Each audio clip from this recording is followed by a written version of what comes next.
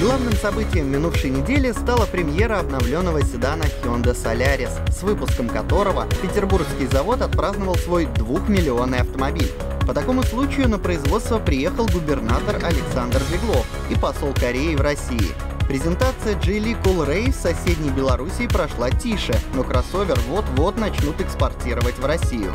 Volkswagen объявил цены на рестайлинговый седан Passat, а узбекская марка Ravon объявила, что начнет у нас продавать свои бюджетные модели под маркой Chevrolet. Узнали мы и первые подробности о двигателях нового поколения Kia Sorento и о грядущем обновлении Hyundai Creta. В основу нового пикапа Peugeot Landtrek легла китайская модель Chang'an F70, которую французы переработали под свой вкус. Так, стиль интерьера мало отличается от последних легковушек французской марки. Даже шкала тахометра сделана зеркальной, как на других моделях. Машина создана с прицелом на Латинскую Америку и тропическую Африку. Бензиновый и дизельный мотор сочетаются с механической или автоматической коробкой. Полный привод реализован по схеме part-time, то есть через жесткое подключение передней оси. Есть понижающая передача и штатная блокировка переднего моста. Удивительнее всего, что концерн ПСА не планирует выводить модель на европейский рынок, а значит в России Landtrek мы тоже не увидим. Электрический кроссовер Ford Mustang Mach-E выходит на рынок Европы еще до того, как поступит в продажу в США. Причем в старом свете модель запускается как просто Mach-E. Европейская версия отличается от американской рисунком ходовых огней и оформлением псевдорешетки радиатора. Перенастроена подвеска, перекалибровано рулевое управление и полный привод. Покупателям предложат два моноприводных и два полноприводных варианта. В зависимости от версии запас хода варьируется от 420 до 600 километров. Все машины умеют обновлять ПО по воздуху. Клиенты получат первые машины под занавес этого года.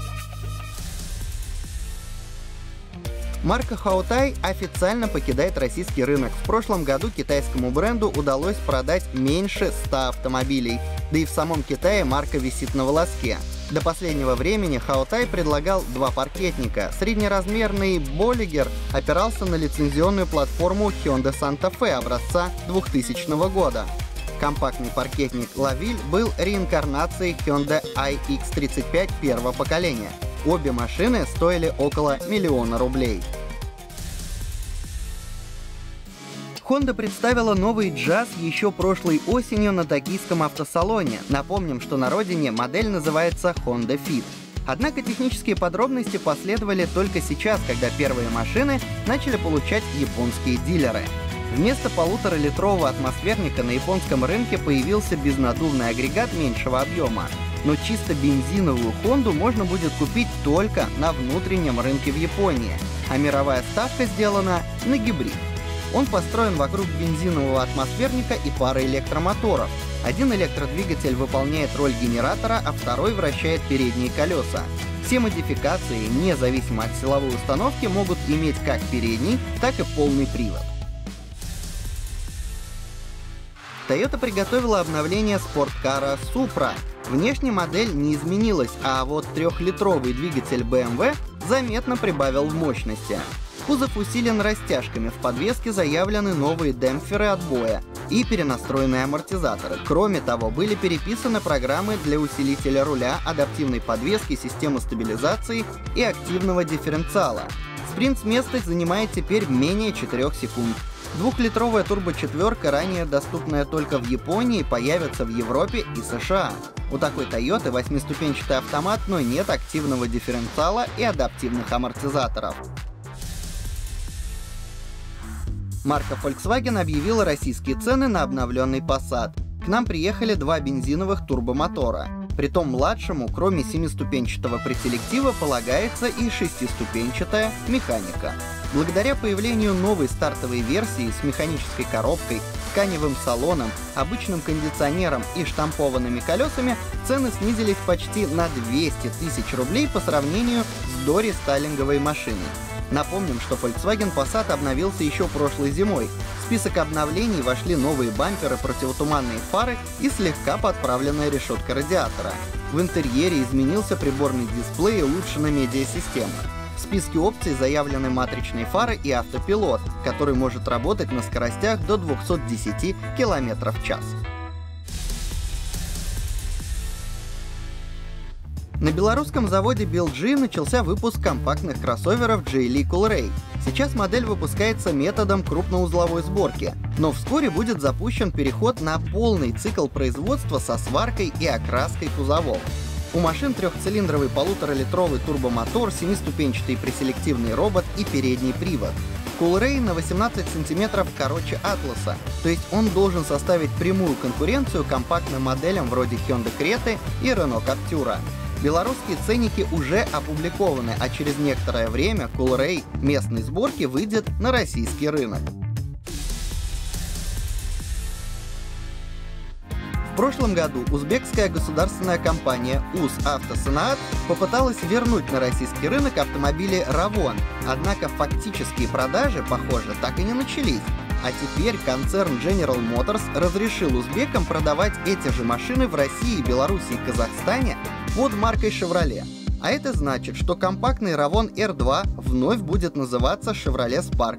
Седан Ravon Nexia R3 получит наименование Chevrolet Nexia, а более крупный Ravon R4 вновь станет Кобальтом. Сейчас Chevrolet предлагает в России всего 4 модели. Это большой кроссовер Traverse, внедорожник Tahoe, купе Camaro, а также тольяттинскую Chevrolet Nivu. В итоге дистрибьютор УЗ Auto Motors будет поставлять автомобили узбекской сборки, а под контролем представительства General Motors России останутся американские машины. Кроме того, новый дистрибьютор обещает расширение линейки моделей. По одной из версий, скоро в Узбекистане наладят сборку недорогих, но современных седанов Chevrolet Onix. Российский офис Hyundai приурочил рестайлинг седана Solaris к юбилею производства в Санкт-Петербурге. Обновленный седан оказался двухмиллионной по счету машиной. Изменились бамперы, оптика и решетка радиатора, боковые зеркала автоматически складываются. Приветственная комплектация Special Edition с обивкой из кожзаменителя и красными вставками на дверях появится у дилеров в марте. Когда тираж закончится, эко-кожу внедрят в прайс-лист отдельной опции или в составе пакета. Главная обновка в интерьере — это топовая медиасистема с 8-дюймовым экраном, встроенным Яндекс Навигатором и голосовым помощником Алисой. Объем внутреннего хранилища не назван, но Hyundai уверяет, что места хватит на карты всей России. Встроенной сим-карты нет. Доступ в сеть по российским законам должен быть персонализированным, поэтому интернет системе придется раздавать с внешнего модема или мобильного телефона.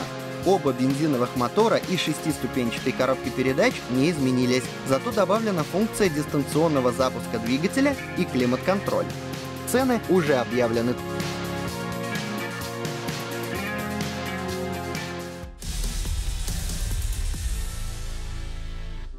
Узнали мы и первые подробности о грядущем обновлении российской Креты, которая в неизменном виде выпускается в Петербурге уже три с половиной года.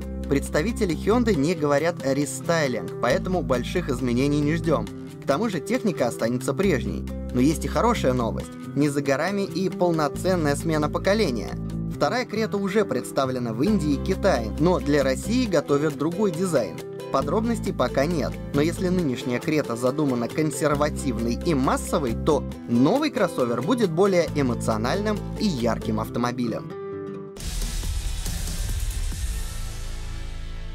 Kia продолжает раскрывать новый Sorento по частям. Сейчас корейская марка официально раскрыла двигатели. В гамме предусмотрено три агрегата. Для Кореи и Европы предназначен турбодизель из семейства SmartStream. С ним работает новый восьмиступенчатый преселектив. Также появится гибрид, построенный вокруг бензиновой турбочетверки. В трансмиссию этой версии встроен электромотор мощностью 60 сил.